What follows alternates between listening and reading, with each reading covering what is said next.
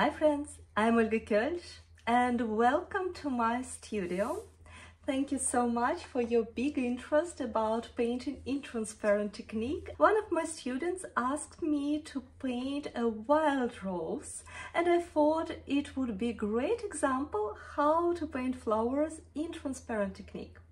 So let's start. When I prepare drawing, uh, first of all I would like outline the fields for example two fingers width would be very nice. Can place the center of the flower as it will be just one single flower right in the center of my paper. Wild rose has five petals and they have a shape of a heart just a little bit of of a heart. So i will first map out the main shape will be rounded uh, but because the flower is slightly tilted it will be more like an oval. I will lift a little bit the flower center map out one petal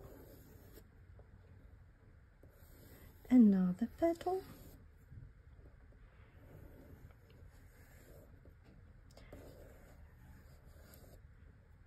At this stage, uh, we're just mapping out the idea of future petals. It will help you when you will be painting. It will help you to focus. For example, this is a little bit too long. I want to keep it within this, this area. And as we will be painting transparent, we can keep all these um, invisible parts visible. What's important will be for us also is to map out the pollen area of wild rose because it will be done in different in different colors. If you prefer more precise drawing, you can you can draw as much detailed drawing as that will be convenient to you. I sometimes I will paint so to say half loose painting today and let's start to paint. For today's lesson I will take ruby red from Schmincke as my main color. It's a very bright pink, slightly uh, reminding opera rose but with much better light fast light fastness. And I will use Saturn red which actually more looks like an orange. For the middle parts transparent technique um, you need to prepare very very diluted mix. To do that you need to apply a lot of water into one of the dwells of your future of, of your mix. I'm painting in ruby red which is very very bright pink. I diluted a lot and I do the same with um, orange color. So first step will be to glaze one of the petals. Let's start from this one. In principle it doesn't matter from which petal you start. I use cold press paper by Hahnemühle and when you paint on cold press paper it takes a little bit longer time for water to suck into the fibers you can help a little bit with the brush. And actually to um, speed up a little bit the process I will glaze at the same time another petal which is not overlapping with with this one. You can use your brush as a sponge or you can just do some some moves like this with your paper towel. Give your paper a little bit of time. I love to paint in hot press paper. It gives you the most fine textures. But sometimes I know sometimes it's a little bit demanding. But let's start.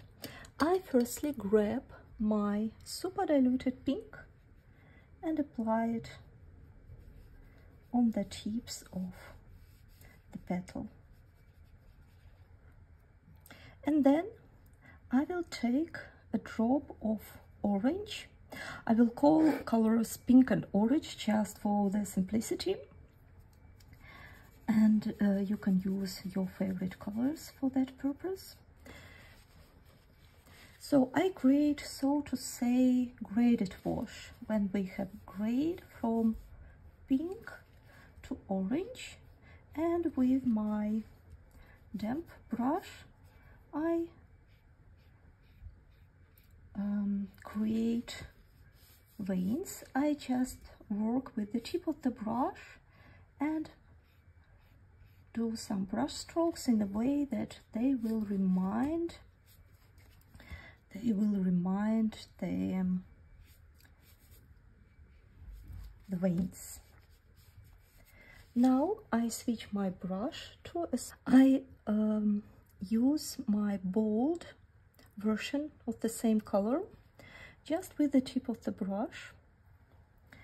I go along the edge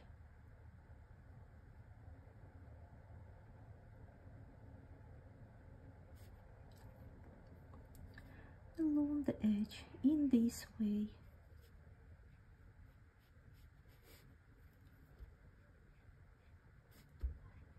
And while my paper is still wet I will take my bigger brush wash it dry it with a paper towel and with the tip of the brush I go around this area and soften and soften it very carefully now you see how how nice and smooth is our edge edge of our petal at the same time if you have some unevenness in your shapes it's a nice time to fix it. Just like this. I would like to add a little bit more of color into the middle part because here is a middle vein which creates some shades. And maybe also in this part. The paper is still wet. This paper holds uh, water pretty pretty nice pretty long. So you have you have nice time to add to play around. I wash my brush. I dry it with a paper towel. And with almost dry brush I drag out the color, the bolder color from outside to the middle. Then I dry my brush, clean it again, and I go around this area of middle vein and soften a little bit these um, blooms. Now we have very nice soft texture and let's do same same thing here you can flatten your brush and create even more interesting, intricate veins. So if you are not a fan of painting one vein by another, uh, that's a nice thing to do that. Let's check our second petal. I think um, it's getting a little bit dry. I can glaze it just once again. But as the water is already in the fibers of the paper, it will be much easier. It will be much easier and uh, we will need much shorter time. So I repeat the same trick. I always try to paint a little bit different, so um, here I had a little bit more pink on the uh, on the top area. Right now I would like to add more pink on the bottom, bottom area, like this. Always try to remove puddles. It's very important. And especially your paper is getting a little bit buckled, probably, as mine it's um, very nice if you go around the edges with the tip of the brush and just remove unnecessary unnecessary water add some drop. And again fix it. At that moment you can start to better understand um, which amount of water fits better to your paper because all papers are different. Now let's change the brush to a smaller one. Go around the petals and let's add some crispiness to the edge. Sometimes I apply a little bit more pressure on my brush, just like this. And sometimes I do just small tipping moves. I like to leave some room for watercolor improvising. I find it very fun to see what happens. For example, on this edge I'm very happy how it all flows. I will just add some softness, some corrections into this bottom area. And actually I would like I would like to add a little bit of shade. Um, it's not really a shade because in this technique we don't think about shades. I will, I promise I will record some lesson about shades in the future uh, someday. But painting in this technique, we don't care about shades. It's a little bit, so to say, decorative painting. Um, again uh, middle vein middle vein from middle of the petal. Just a line when you apply a little bit on your brush and then re release the pressure. Dry your brush with a paper towel. Soften Uh, you can add a little bit more of textures if it is too bright, for example, if you see that it blooms too much, you dry a brush with a paper towel and with damp brush just go along and correct everything. Good watercolor paper, 300 grams cotton paper allows you to make a lot of corrections during your painting and you have enough time to make all these corrections. So it's um, uh, it helps you. Good watercolor paper really helps you to achieve results. That's a little bit too bright. Let's dry my brush with a paper towel and go along and soften. It's actually these um, details, they, they always bring some personality, some stylish thing to the painting. Now we have to paint three more petals, but now we need to dry these two. These petals are dry. Let's paint another one. First step, as usual, we are glazing. We are glazing and glazing the area of the petal just with the clean water or relatively clean water what's in your glass jar. Try to add some variety to the edge of the petal. It's much more easier to do when you have some color already there. Um, I would like to make this petal probably the most transparent because it's uh, the most up petal and most of the sun shines through this petal.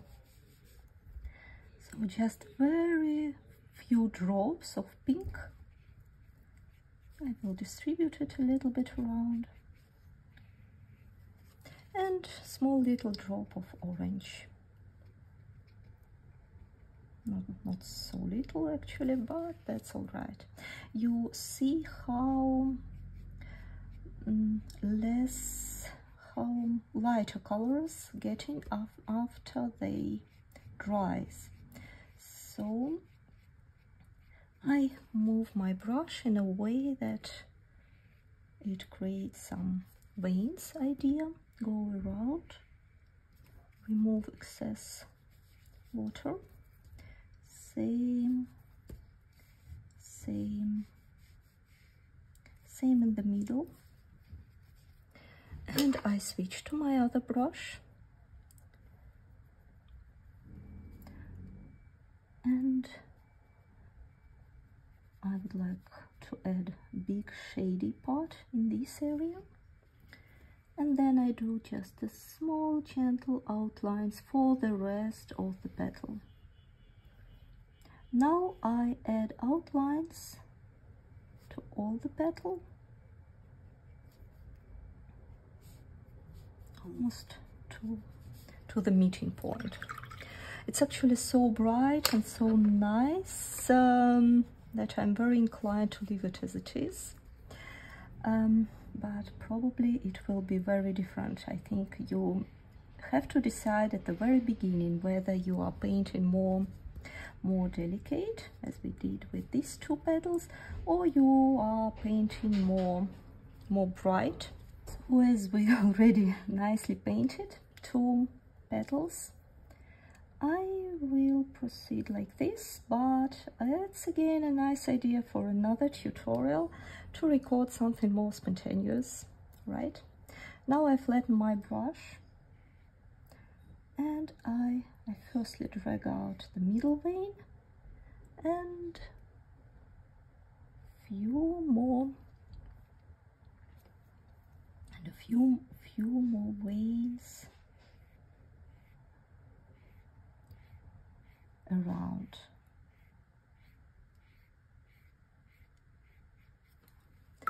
Now I would like to add some corrections.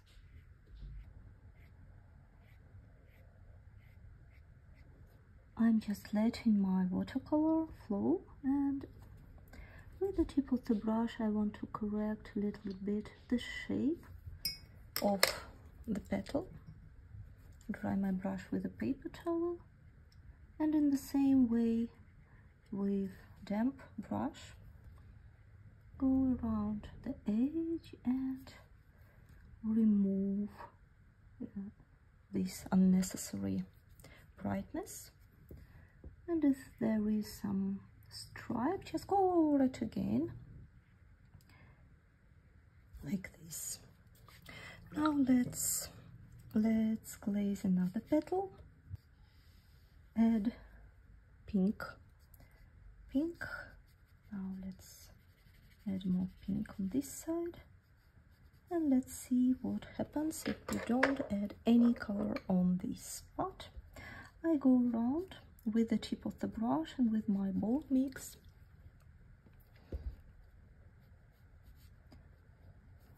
Sometimes um, when we paint on cold press on hot press paper I'm sorry on hot press paper the surface is so smooth and um, it gives you a feeling that you paint with inks. Because of these nice bleeds I know that it drives somebody some people crazy but it's um, I think it's uh, in very interesting very mm, nice effects you can get here. So uh, I dried my brush with a paper towel. So it's time to take another piece. And dry my brush with a paper towel and I just move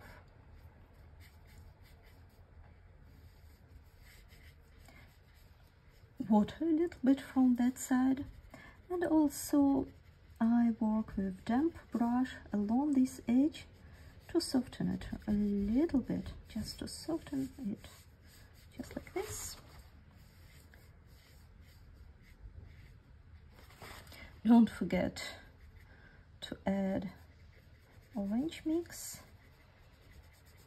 When these two colors are mixing together, they also they create very beautiful coral pink shade, very beautiful.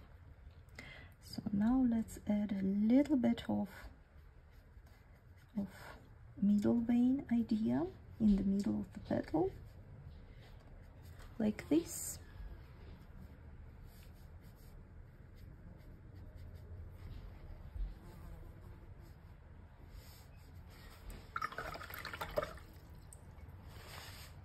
I dry my brush with a paper towel. And now I make all my move from from the edges of the petal towards the flower center from down up. If it is not convenient to you feel free just to turn the paper. It's important that you have convenient position for your wrist for your um, for your painting now let's add a few light brush strokes.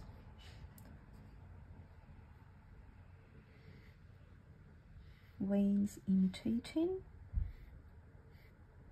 About this? You see how fun it is uh, some some um, brush parts hairs they will dry and that created this nice texture. If I plan it I would never uh, get it but some accidental things they really plays around very nicely. Let's paint the, the last petal I think you already see this nice transparent idea of the flowers. Painting this technique it's all about finding practicing water control practicing nice brush stroke technique. And once you paint let's say 10 wild roses or other flowers with me then you really master your um, brush stroke skills and water control. So let's remove excess water. Talking about water control let's remove excess water let's drop our orange in the middle.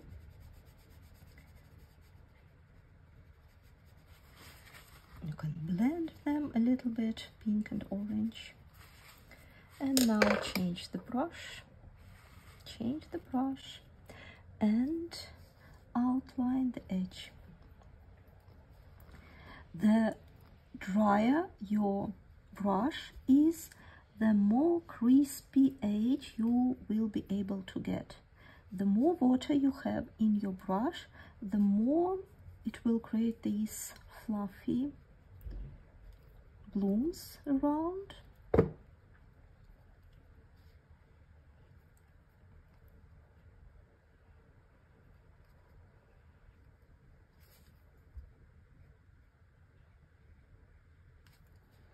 Uh, where I have uh, pressure on your brush, more pressure, less pressure. And let's paint middle vein or find the place for middle vein. Add a little bit of extra shades because now we will take care of this with another brush. Clean, damp brush. Now I will turn my paper a little bit because now it's more handy for me to work like this. So I go around the edges. I always move my brush in the direction to the flower center. To the flower center. And that's how I create this idea of sometimes flowers they have bent areas very in that way.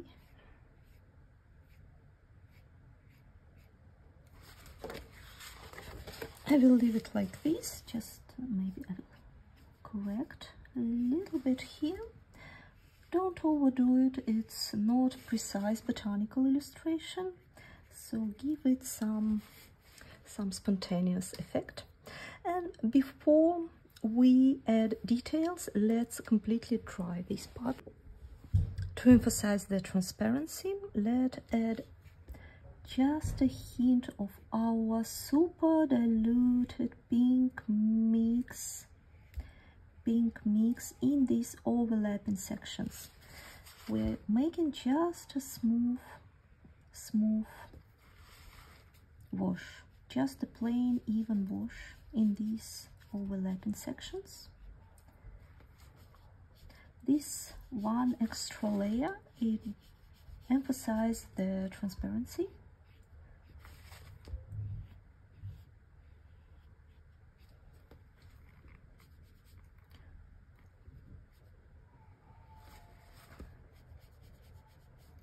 And if you somehow lost some of outlines, it's a nice time to go around and add a little bit of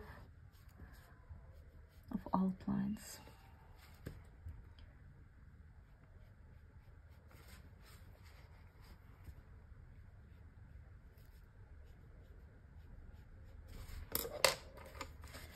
When necessary, you soften the edges, the soften the edges to create very soft, soft, nice edge. I encourage you to try different ways.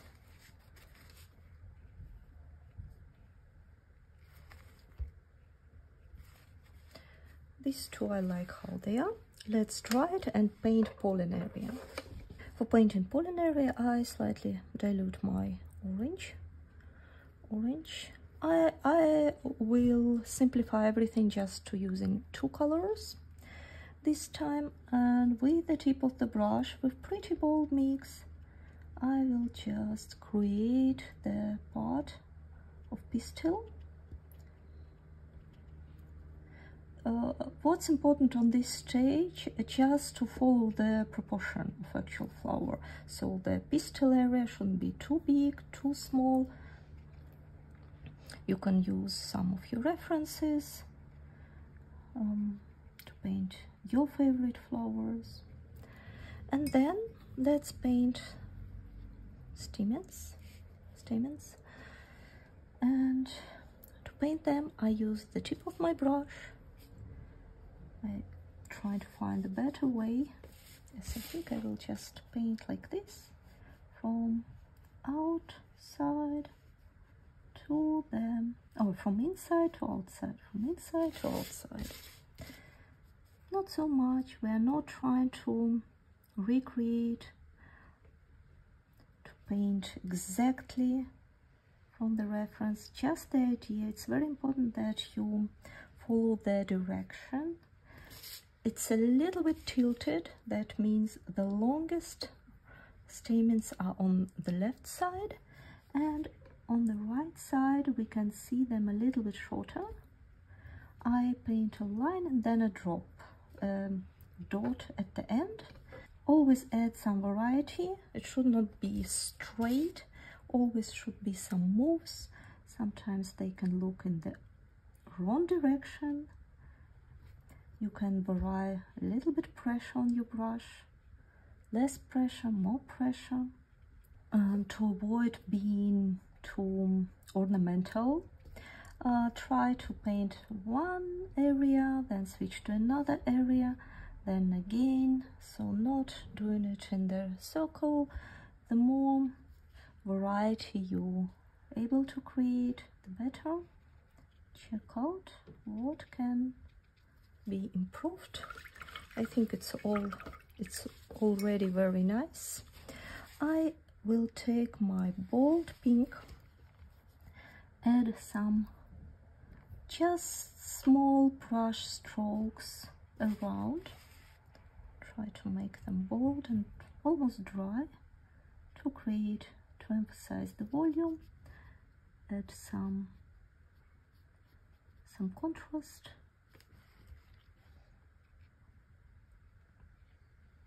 Oh, just with the tip of your brush here and there not not outline each and every previous statements.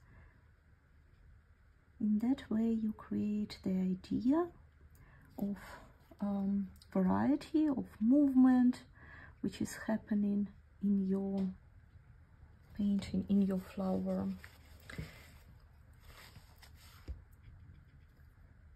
And I would say this is it. Thank you so much for painting with me. I hope you enjoyed the process. I hope you liked painting wild roses. Please leave me some feedback and comments which flower in which technique would you like to paint next? And see you next time. Bye bye.